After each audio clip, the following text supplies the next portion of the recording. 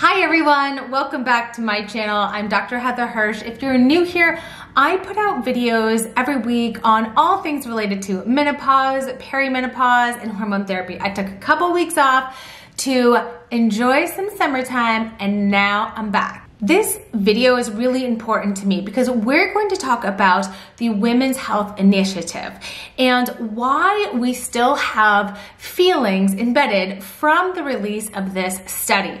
Now, if you don't know much about the Women's Health Initiative, well, that's why you're gonna watch this video and learn a lot about it. The results of this study, what we call the unadjudicated results, or just kind of like the beginning of all that data, came out in the summer of 2002 and more data trickled out in 2003. Well, we just celebrated the 20 year anniversary of the release of the WHI. Now, the WHI caused a lot of the confusion and the misconceptions and the myths about hormone therapy that we are still wading through today 20 years later. So to be able to better understand why I talked to my patients so much about the safety, the efficacy, and the benefits of hormone therapy, we really have to go back in time and study the WHI and what it was all about and what that means today. In the 80s and 90s, it was really commonplace that most women shortly after going through menopause were offered estrogen to help alleviate their menopausal symptoms. And that's the typical hot flashes, night sweats, vaginal dryness. But there's lots of menopausal symptoms that kind of also go unnoticed. Now, at the time, this was studied prospectively, which means people were giving a treatment, which was the estrogen, and they were watched going forward. And at the time, women were doing really well. They were having less heart disease, they were living a little bit longer, and having really good bones and improvements in their quality of life. In 1992, the American College of Physicians advocated for the use of hormone therapy postmenopausally. Now, the gold standard of care has always been randomized controlled trials. And in the mid 90s into the late 90s, there wasn't a randomized controlled trial on hormone therapy. So the difference between a prospective study when you give someone something, whether it's a drug or a procedure or a device, in this case it was hormone therapy and watching them go forward, is you're not comparing them to another arm called placebo. So the idea was, well, hormone therapy seems to be really good. So let's do a randomized controlled trial of hormone therapy to see that these benefits are really what we're seeing. And hence the WHI was born. Now, clearly I was not around for the design of the women's health study, but the design of the women's health study is so important because we take so much of what was found and extrapolate that to other populations or other formulations of hormone therapy that we don't routinely use as much as we did in the 90s as we do today.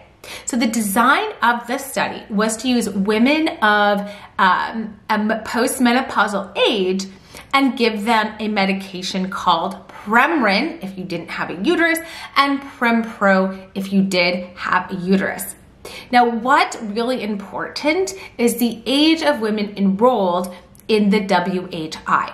The average age of women enrolled in the WHI was 62 and a half. Now, this is important because the average age of menopause is 51. Notice that in the prospective studies in the 80s and 90s, women were given hormone therapy shortly after menopause. And age 62 and a half is on average 12 years after the last menstrual period on average. So it's really important to know that the average age of women in the Women's Health Study was in the early 60s. And in fact, the age range of women in the WHI was 51 to 79.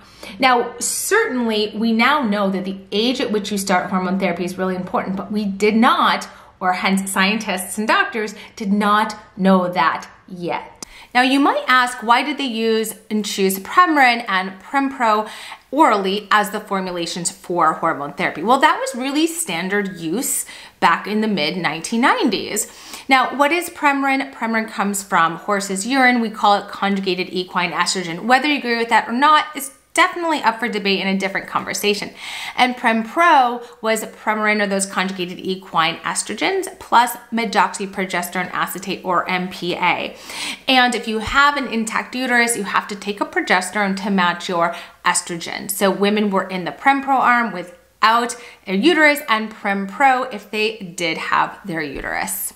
These formulations, this oral route of conjugated equine estrogens and MPA is really important because the other thing that we now know is that formulation is really important and route is really important. So already looking back, we could see in the design study, there weren't necessarily flaws because we didn't know they were flaws at the time, but they were design elements that really make a difference when we're talking about the safety and use of hormone therapy today. There's one other crazy thing about the WHI that's really important, and that is that if you had significant symptoms, you were excluded from the WHI.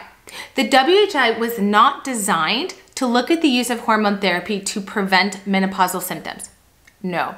The WHI was looking at the use of estrogen to prevent chronic diseases. So they were looking at the use of estrogen to prevent heart disease, bone loss, cancers, and other things. That's really important because the study design plays a big role in how you then interpret those results. So all of that you got to keep in mind. So the study sort of started in the mid to late 90s. And why the study closed early we, was because of an apparent increased risk of invasive breast cancer in the Prempro arm. By crossing the study safety threshold, the arm of Prempro, estrogen and hmm. progesterone, was immediately stopped. The women who were taking estrogen only or Premarin who didn't have a uterus were actually doing great and there was no safety data that was worrisome to the investigators. So that arm actually continued for two more years. So in the early 2000s, in 2002, the media reported that the Women's Health Study has been shut down because of breast cancer. And this really began the worry, the fear, the idea that estrogen is dangerous and harmful. If we talk anything about breast tissue, there certainly is a visceral and emotional response among women. Now, I want to break this data down because it's super important. At the time, the media said there was a 26% increased risk in invasive breast cancer, which sounds frightening. I want to break down what that really meant in what we call absolute risk. The absolute risk of invasive breast cancer was four women out of a thousand over five years who were on the oral Prempro.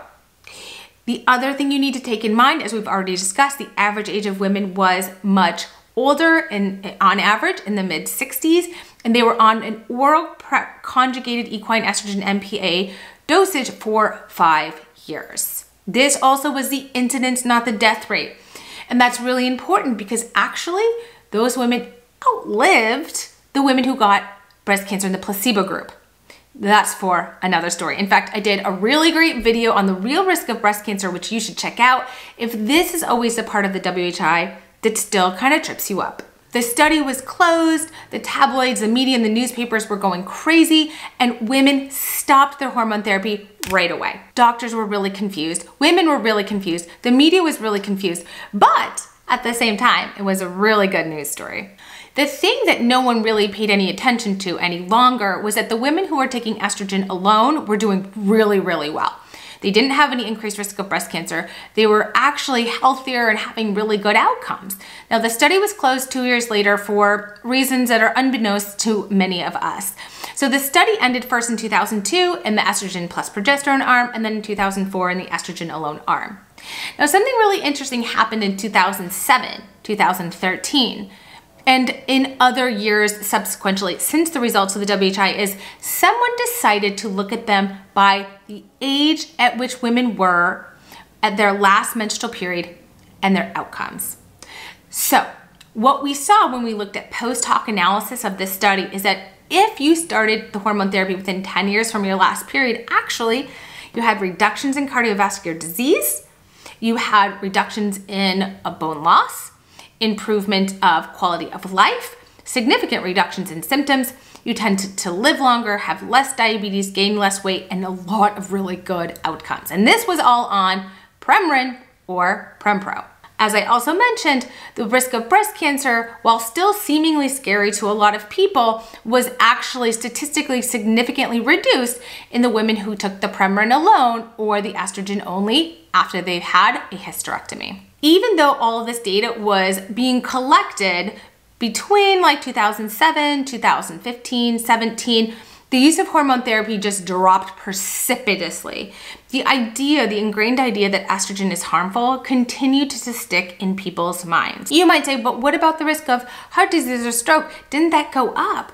Well, I just told you that when they looked at age of last period and how you did on hormone therapy, if you were within 10 years of menopause, you actually had improvement in those cardiovascular markers. Definitely check out this video here where I go in depth about you know, the timing hypothesis because that makes a big difference. The risk was actually slightly increased for cardiovascular disease and stroke if you were two decades, i.e. 20 years, since your last period when you started on hormone therapy. Let's go back to breast cancer. Because the women who took estrogen only did really well, there were some people who actually wondered if it was the progesterone component. Studies using, different formulations of progesterone, so not the MPA, but um, micronized natural progesterone or prometrium, norethindrone, or even a levonorgestrel, which is the progesterone in an IUD, actually found that they did not increase the risk of breast cancer, and that number became even lower. Now, just to put this all in perspective, four women out of a thousand over five years is also similar, if not lower, than the risk associated with breast cancer. If you drink a glass of wine, every day, if you are overweight, obese, if you have diabetes or hypertension. So we walk around assuming those risks all the time. It's just that the media made people feel in the early 2000s that hormone therapy gave you breast cancer. We actually don't think that that is very true. And I would definitely recommend you check out this video I did with Dr. Avrum Bluming. We talk all about hormone therapy and its real link to breast cancer. You know, as I mentioned at the beginning of this video, while the incidence was slightly increased, the mortality rate was not. Many experts actually think is that if you are prone or have a genetic risk or environmental risk for an estrogen receptor, progesterone receptor positive tumor, the hormone therapy may cause it to show up sooner and get treated faster. Because again, if you looked at the women in the estrogen progesterone arm in the WHI who got breast cancer compared to the women who were in the placebo who had breast cancer, these women actually outlived these women. So it's a very complicated, but what we know today from the WHI that makes us a lot more confident in prescribing hormone therapy is this. The reason that the prospective studies of women in the 80s and 90s looked better than the randomized controlled trials was because the women in the randomized controlled trial, the WHI, were on average 12 years older. And the majority of women were also much older. And only about 15% of women were even within five years of menopause. Whereas in the prospective studies, most women took hormone therapy shortly after menopause. So the age at which you start matters. The second is that formulation matters and different types of progestins and different types of estrogens, essentially bioidentical but FDA approved hormone therapy tends to be the preferred option for many NAMS members. So this could be the estradiol patch, the estradiol tab, the estradiol gel. This could be micronized natural progesterone or combination tabs, something like uh, Activella, which is estradiol norethindrone, are slightly more preferred than Premarin and Prempro, although don't forget that a lot of the safety data that we have on the timing of hormone therapy and the reductions in breast cancer in the estrogen only arm do come from the WHI. So timing matters. Also the age at which you start matters. Your symptoms also probably matter as well, as does the formulation of your hormone therapy. And the risk of breast cancer really has been very much dissected to be a lot more acceptable to most women, if not having a null effect on breast tissue in general. All right, guys, I know that was a really, really lengthy, lengthy video with a lot of detail. It has taken me many, many years to be able to have this data stored away in a way that I can say it rapid fire. If you need to watch this video a couple of times, take notes, please do so. This is so important and fundamental to the conversation I have with patients on why to take hormone therapy despite the fears that you may have walked in the door. There's plenty of other trials that do go on to solidify this safety data as well. I hope you learned a ton from this video. If you're new here, please consider subscribing, totally free to do so, and you can always change your mind later. I have tons of videos on hormone therapy, menopause, and perimenopause to help you make the best decision for you as you enter this super important transition. I'll see you guys next week for a brand new video, and thank you for watching.